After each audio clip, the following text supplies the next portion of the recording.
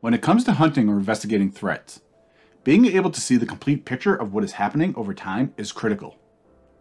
Many organizations require the ability to search up to a year's worth of data as a best practice.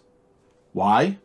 Because today's complex threats can breach your environment and lie in wait for the most opportune time to act. In the following example, a server has been identified by the Securonix solution as having a lot of violation records associated with it. My first step in the investigation is to find out when the server started portraying this behavior. To do that, I search on server 20.4.5.10. With a hot and cold tiered storage model, I can search the hot data, which gives me about a week's worth of visibility.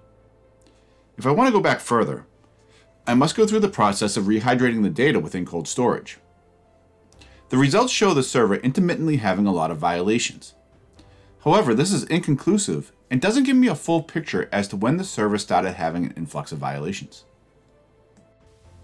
Let's take a look at the Securonix Unified Defense SIEM. When you incorporate a data cloud that delivers up to 365 days of hot searchable data, you can get to the bottom of when this behavior started. Once again, I search on 20.4.5.10. This time, I can go back a year or more. I see that the server has had an influx of records in January over a year ago. This is more than likely the first instance of the server's risky behavior. I also see the behavior becomes more frequent over time.